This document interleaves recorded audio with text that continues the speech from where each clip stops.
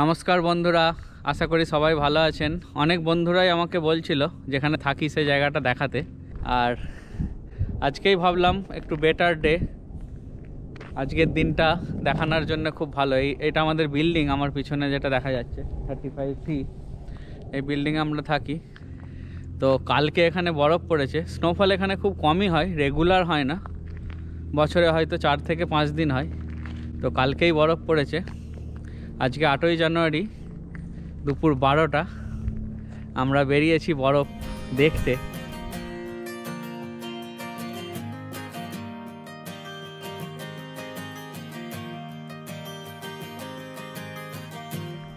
তো আমাদের এই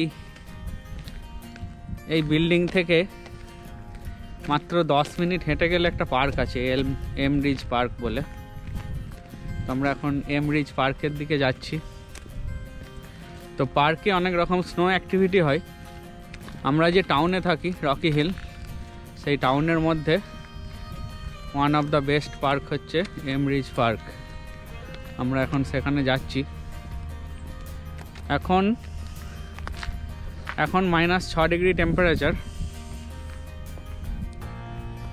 একটু হাঁটার পরেই বুঝতে পারলাম, বেশ ঠান্ডা আছে। বেশ ভালোই ঠান্ডা। সকালে যখন উঠেছিলাম, গাছগুলো পুরো বরফে ভর্তি ছিল। গাছের ডালেও বরফ জমেছিল। গাছের ডালে যখন বরফ জমে থাকে, তখন দারুণ সুন্দর দেখতে লাগে। কিন্তু এখন বরফ ঝরে ঝরে পড়ছে, যত হাওয়া দিচ্ছে, গাছ থেকে বরফ ঝরে নিচে পড়ছে। রাস্তাটা কিন্তু পরিষ্কার। রাস্তায় এমনি বরফ পরিষ্কার করা হয়।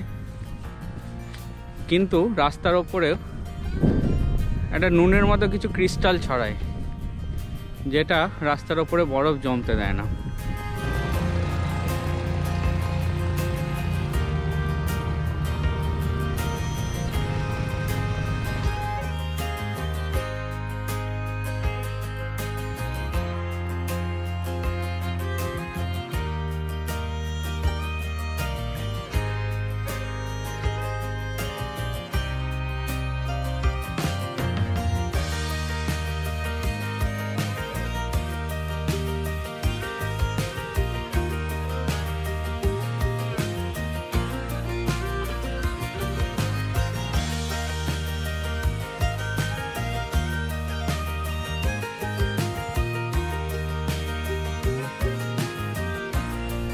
পার্কের প্রায় মাঝামাঝি এসে গেছি আমরা। পুরো পার্কটা বরফে ঢাকা, দারুণ সুন্দর লাগছে।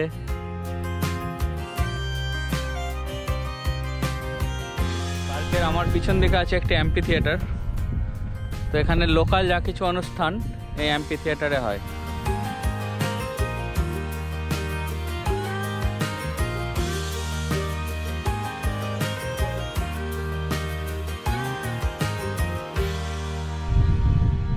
এখান থেকে একটু ড্রোন উড়িয়ে দেখব কেমন লাগে।